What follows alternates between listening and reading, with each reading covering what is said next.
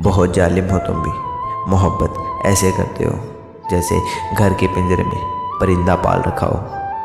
फिर वहीं पल, वहीं लम्हे, फिर वहीं दौर है, फिर वहीं हम अकेले, फिर उनके साथ कोई और है।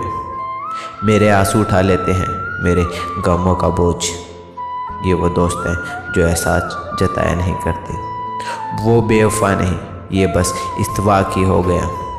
खंजर उसके हाथ में था। मेरे दिल पर गिर गया।